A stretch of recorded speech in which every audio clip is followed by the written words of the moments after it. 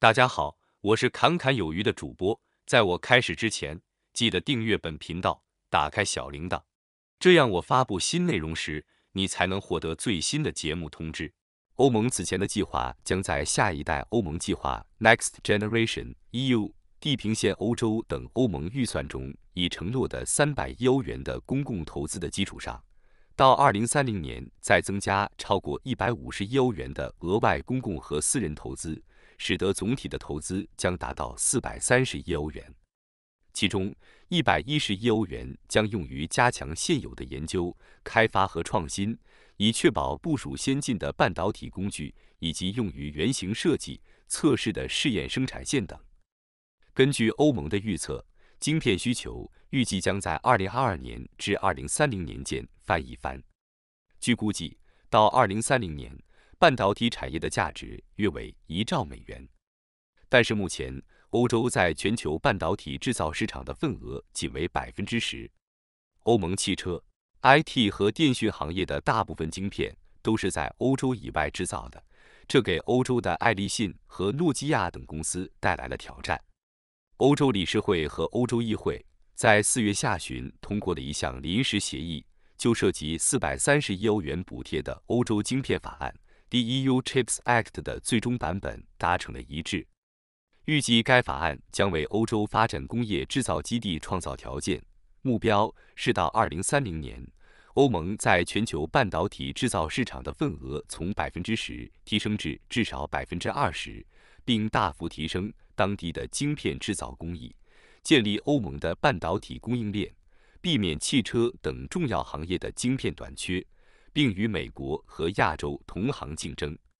这次刚刚确定的欧洲晶片法案，为加强欧盟的半导体行业建立了一个框架，总目标是支援整个欧盟的大规模技术能力建设和创新，以开发和部署尖端和下一代半导体和量子技术，从而加强联盟的先进设计、系统集成和晶片生产能力，以及为实现数位化。和绿色转型作出贡献。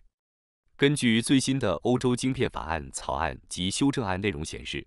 欧洲晶片法案将确保欧盟加强其半导体生态系统，提高其韧性，并确保供应和减少外部依赖。例如，加强欧洲在更小、更快的晶片方面的研究和技术领先地位，建设和加强自身在先进晶片设计。制造和封装方面的创新能力，并将其转化为商业产品，制定适当的框架，到二零三零年大幅提高产能，在全球半导体产能中的份额提高到百分之二十，解决严重的技能短缺问题，吸引新人才，并支持熟练劳动力的出现，深入了解全球半导体供应链。欧洲晶片法案这次还计划。通过建立一个可在欧盟范围内使用的创新虚拟平台，建立集成半导体技术的大规模创新设计能力。该平台将由新的创新设计设施和扩展的库和电子设计自动化工具组成，集成大量现有和新技术，包括集成光子学、量子和人工智慧神经形态等新兴技术。该倡议将支持生产、测试及实验设施的试验线。弥合先进半导体技术从实验室到晶圆厂的差距，其中重点领域包括试验线，用于以开放和可访问的方式对 IP 模块、虚拟原型、新设计和新型集成异构系统的效能进行实验、测试和验证，包括通过流程设计工具包。另外，通过整合研究和创新活动，为未来技术节点的开发做准备。加强下一代晶片生产技术的技术能力，建立半导体技术上的新鲜导管线，如低至十至七纳米的 FDS、先进的 GAA 技术和二纳米及以下的前沿节点，以及用于 3D 异构系统集成和高级封装的先导线。试点项目将整合最新的研究和创新活动及其成果。该计划将包括一个专用的设计基础设施。例如，由模拟用于设计晶片上电路和系统的设计工具的制造过程的设计模型组成，将建立这一设计基础设施和。用户友好的试点线路虚拟化，使其能够通过设计平台在整个欧洲直接访问。这种联系将使设计界能够在技术选项商业化之前对其进行测试和验证。它将确保新的晶片和系统设计充分利用新技术的潜力，并提供前沿创新。这些试验线将共同推动欧洲在半导体制造技术方面的智慧财产、技能和创新，并将加强和扩大欧洲在先进半导体技术模块，如曝光和晶圆技术的新制造设备和材料方面的地位。此外，还将组织与行业的密切合作和协作。通过使用新的或现有的试验线来支援大规模创新，以对集成关键功能的新设计概念进行实验、测试和验证，例如先进封装、3D 异构集成技术，以及用于电力电子的新型材料和架构，促进可持续能源和电行动性，降低能耗、安全性，更高水平的运算效能或集成突破性技术。如神经形态和嵌入式人工智慧 AI 晶片、集成光子学、石墨烯、量子技术和其他基于二 D 材料的技术。这种强大的扩展泛欧洲试验线基础设施与设计支持基础设施密切相关，是扩大欧洲知识、能力和能力的基础，以缩小从公共资助的研究到商业资助的制造的创新差距。并在本世纪末增加欧洲的需求和制造业。在欧盟及欧洲晶片法案的推动下，英特尔、英飞凌、意法半导体和格罗方德等晶片生产商已经承诺在德国和法国建设数十亿欧元的设施，并将根据新的法规寻求补贴。最新的消息显示，台积电也正在考虑在德国投资建设二十八纳米晶圆厂。但目前尚未最终决定。不过，在上游原材料及建设成本的上涨之下，叠加半导体市场复苏的不及预期，目前众多的晶圆制造商都开始缩减资本支出及放缓扩产。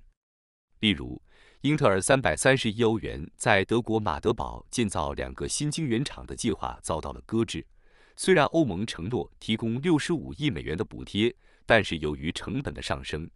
英特尔还在寻求寻求德国政府额外补助四十亿至五十亿欧元。显然，如果英特尔投资三百三十亿欧元，就能拿走超过一百亿欧元的补贴。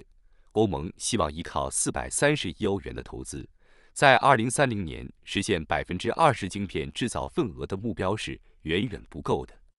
此前，温智普半导体执行长就警告称，欧盟为晶片法案分配的资金。远远不足以实现其为二零三零年设定的目标。